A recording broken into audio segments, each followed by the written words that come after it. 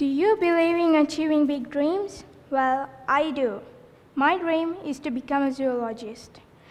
You may know the leopards in Sri Lanka, they are threatened by the loss of their habitats, so they have basically fallen into the category of endangered species. But for some creatures, it's just too late, such as for the fascinating Ceylon lion that lived thousands of years back.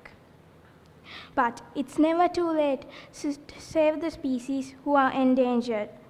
But before I get on of how, why, and whereabouts of these endangered species, let me give a brief idea about the history of zoology. The history of zoology varies from the ancient times to the modern times. The history of zoology emerges from natural science, and it had another term for it. It was in Greek, known as zoon, which also meant the study of animals. And did you know that the father of zoology was Aristotle. He didn't just research about zoology, but also discovered other biological works. Since you have a brief idea about the history of zoology, let's move on with the rest of the topics. Many people ask, well, what's the point of saving endangered species? Well, you see, since 1896, the amount of Asiatic elephants have hit rock bottom. There are about 50% of it left. So there are many reasons for these incidents to occur. So, so you see, when humans started to evolve in the places where these innocent creatures lived, they started to poach them. Skin for clothing and meat for food, and also their bones for medication.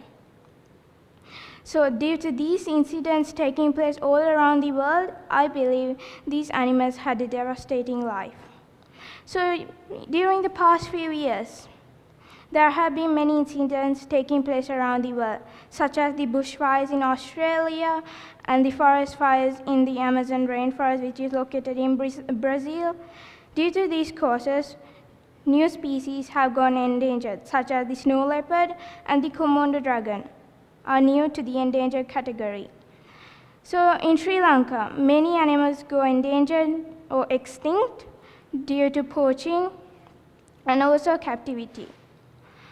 So um, there are about more than 60 species endangered in Sri Lanka, such as the leopards, the uh, Asiatic wild water buffalo, the Asiatic elephant, and also the extremely huge blue whale that lives by the coast of Sri Lanka are species that are endangered.